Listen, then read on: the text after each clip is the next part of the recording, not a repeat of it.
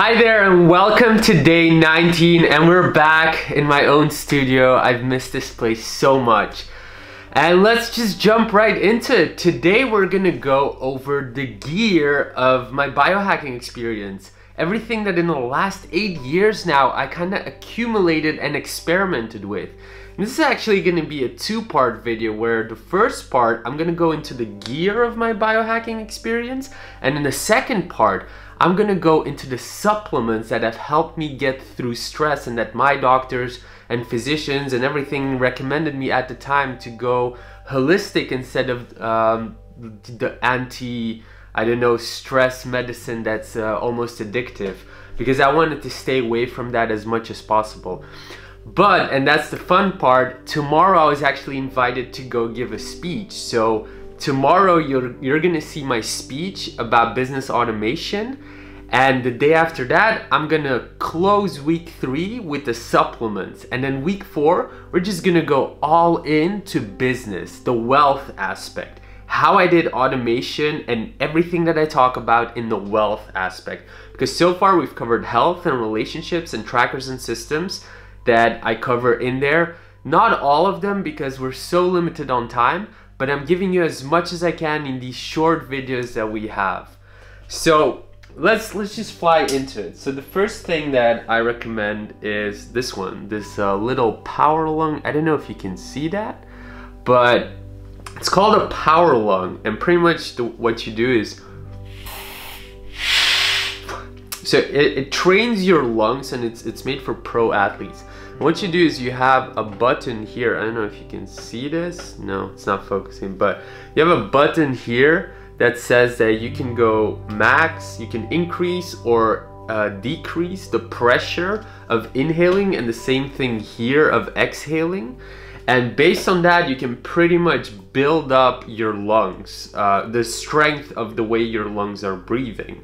Uh, pro athletes use, it, use this as an extra thing during their workouts so they can perform better. As a, for martial arts, this is great, but also from a health perspective, that's where I got it from. Um, when you breathe better when i was going through hyperventilation that's why i got that little kid i wanted to breathe better uh, if only i knew that that wasn't what's what was going to save me the next thing is actually pretty basic and most old people have this um, but i think young people should have it too. It's a, a blood pressure meter. So you literally just put this around your wrist. I'm not going to do it now but you click on it and then it just starts uh, it, it really goes hard on your wrist and then it just starts measuring your heartbeat and um, and everything that you should know about your blood pressure. And then here is my old my old old old uh, blood pressure I don't know if you can see that this was like maybe I don't know how long ago but June I think this was like four years ago this is how I started tracking so in case you guys want to know how sophisticated I was. Um, then we go into something that I just wasted my money pretty much on. This is a thing, so when you sleep, right, some of the people around us would have like, so I, I do this with my teeth. Some people snore and stuff like that. So I got this device thingy that you just put around your thing and that's how you sleep. Now, somewhere, I don't know where, I also read that, um, well, from protecting my teeth, one, that was a good thing, but the second thing, apparently it also like helps your jaw become more square, but I don't, I don't believe that actually worked. Um, I did it for like half a year and then kind of dropped it, so in some way it was a waste of money. Uh, I guess I'm saving you from that kind of waste of money. This thing is, uh, is interesting. I used to do this all the time when I flew. I don't know, again, if you can see this, but it is a grounding plug. So you have like this device that plugs in here and then you have this little bracelet that goes here and then you just plug it in and then you plug it into the into the the, the wall socket. So I'm not sure if it was a waste of money. Uh, at the time, maybe it was placebo every time I would fly. Um, so one of the things that you learn uh, when you start doing biohacking is that when we were supposed to be walking, if we go back 20, 30,000 years ago, whatever, we were supposed to be walking barefoot on soil, right? So there's some kind of energy that that charges up in our body that should be released by touching soil, which is another term called grounding. So if you're struggling with sleep because you live in an apartment building or something like that, you can try grounding. One of the actually one of the main things that I do when I feel not really good after a flight, it's grounding. So I go to a park and I ground myself. And that's the reason why I think this little thing is a waste of money now because I used to fall asleep with this and I would put it around my leg, not my wrist because I would wake up from that and it seemed to improve my quality of sleep based on my sleep tracker. But since then I've been uh, forgetting that thing. So I always go into a park and stuff like that. And I don't have to struggle with the wires. And also for instance if I go to the US that plug doesn't work so I just uh, kind of release that and just go to a park, do some yoga there for five to 10 minutes and that usually helps. So if you're struggling with sleep, that little device could help, but there's a better uh, one, it's more expensive. It's actually if you get an entire mat that you can lay on your bed and then sleep on that grounding mat. Uh, that should help, but track with the sleep tracker, of course. And um, and then when because we're in sleep, we might as well go into this little device this is called, this is the one thing that people ask me about. What is this? So this is a CES Ultra. It's not the best one from biohackers. Like there are a lot of biohackers that have manual uh, CES machines, but what it is is actually a cerebral electrostimulation machine. And oh no, cranial electrotherapy stimulator. So um, two names, both are able to be used. So what you do is you have here, you have the the image, you put it here on your earlobes. You can see, I'll unpack it so you see what it looks like. So you have these little things that you put on your earlobe like this and uh, and then obviously there's a wire that goes straight straight into the CES machine. And then you put it into a mode where you barely feel a tingle. And this was developed by Russian astronauts to make them sleep more efficient. Now I don't use this device as much. Uh, I use it mostly when I know that I'm gonna sleep less than five hours. And based on my sleep tracker I do go into deep sleep way faster and way longer. So it is very effective, but unfortunately I don't, the research that I've read was very like vague around it. There isn't too much research. So I use it very scarcely. Uh, you would, I always tell the story of the German conference that pretty much started Why Not 3 and that work-life balance workshop. So that was a, uh, a conference that I spent five hours, uh, five days, and I slept two hours every night. So that was pretty horrible and people ask me how did you even do that? So that is actually one of the hacks that I do. I did grounding and I did the CES machine. The CES machine pretty much saved me through that entire experience. Uh, and that's how I was super awake and didn't have a crash right after. I, I could pretty much do whatever. And I know other biohackers have, have the manual CES machine so they can pretty much adjust which uh, waves they get so that they get into deep sleep even better or into alertness phase or creativity phase even faster. But for me, I just, I really wanted to have efficient sleep. So I use this mostly during conferences uh, and when I sleep less than five hours and I need to be in top form the next day. But I always leave uh, just in case a day extra where I know that I can catch up with sleep. The next device is actually the most interesting device and this is the one that I always advise to all of my clients. And um, all of these things I'm gonna link them down below. You can go look it up because the explanation videos are quite long. So if you want to see how it uh, goes into real life or how to use it just go on those videos and the links that I post below. But the HeartMath, so this is the HeartMath and what it is, it's an infrared sensor. I'm not sure you'll be able to see this, but in here you have a sensor.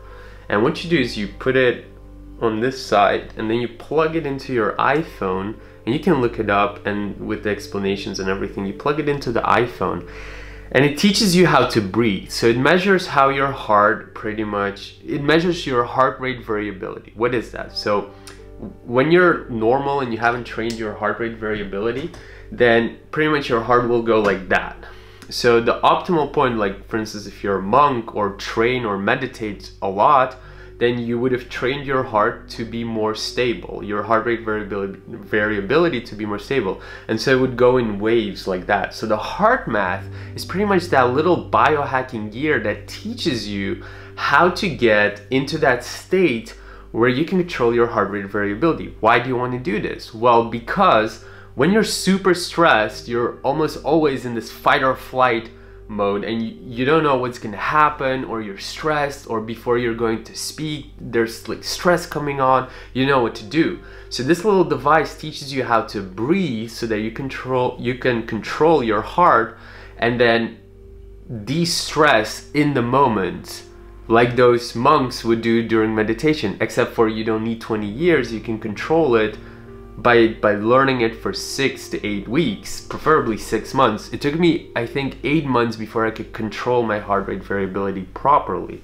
So the heart, so the HeartMath, I'm gonna link everything below, is so small, but it is one of my most precious devices, and I think it's only like hundred bucks or something like that. The CES machine was more expensive. Uh, this is actually the most expensive little thing that I have, and this is not many of you will recognize it, but this is called a Soma pulse. So the Soma pulse works with magnetic waves, um, and it's pioneered by a doctor called Dr. Pawluk. And he explains it way better than me, but pretty much what I use it for is, for instance, if I have a really hard training session and I need to recover way faster than the normal people because I need to give a speech the next day or have a really important business meeting and I don't want to come like an old man to the meeting. So I use this Soma Pulse pretty much to recover me faster. Or for instance, if I ate really bad stuff and I'm struggling for days, um, it seems to help uh, recovering faster. So I use that uh, as well. So apparently it can be, you can treat a lot of big diseases um, and it can make you heal faster. There's a lot of research being done now in magnetic therapy, but you can all look into it um, in the links down below. I'm gonna skip over it because we're already short on time. Um, then we have this. It's uh, There's dust on it because I haven't used it. I think it's one of those things that I've spent my money on and is completely underused. So this is called a Focus. So it's like foc.us. And what you get is pretty much something like this. You get these sponges that you put into your focus. You have to make them wet, of course.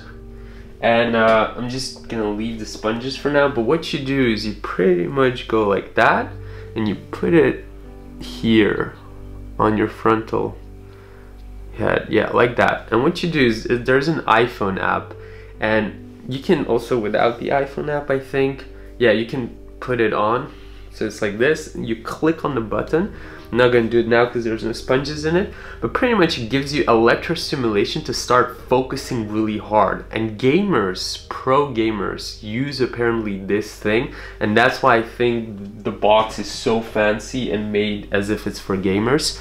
So that really boosts your energy um, for for focus. So for instance if I would be uh, th this was I bought this like two three years ago and used it maybe four times, but uh, I used this for instance when I was during the exam period. Um, and I needed to focus after all the sales meetings that I would have done or all the jobs that I had and then my mind would be all over and I kind of needed to focus on this one book. So I used uh, Focus uh, together with some other stuff like Pomodoro and stuff like that uh, to really kick into gear my focus without using supplements. But I'm gonna cover supplements as well. And the last thing, and this is actually the one that pretty much made all of the other stuff unnecessary. This one really kicked my focus into gear and now it has dust on it, but I used to use it daily for I think a year or something like that. And it's very rudimentary. I think it's all hand built. Like you can literally see stuff like that. I'm not sure they sell these stuff anymore, but what you do is you put it like that and uh, then you plug it into your computer and pretty much with your mind, it, it has like an infrared sensor here. And with your mind, you have to move something. And again, you can look it up in the screen. So you move into a, a space and every time you are not focused, the program goes back. And when you're focused, it goes to the front. So it teaches you how to pretty much pump blood, I, that's what I assume, pump blood into your brain so that you're actually focused on something.